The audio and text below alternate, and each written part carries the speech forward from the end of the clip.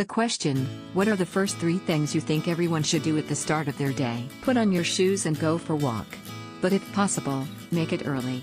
Such that it's less polluted and you can get the finest oxygen available from nature. That's my morning view. Next. If you're a tea lover, have it. Of course, after the walk, a must to refresh your mind in the early morning.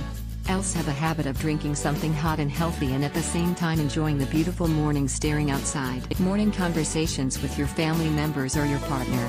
Start of the day to spend some quality time with your loved ones. And then do whatever you could not avoid. Checking your mobile is one such activity probably that is something all would do in prior.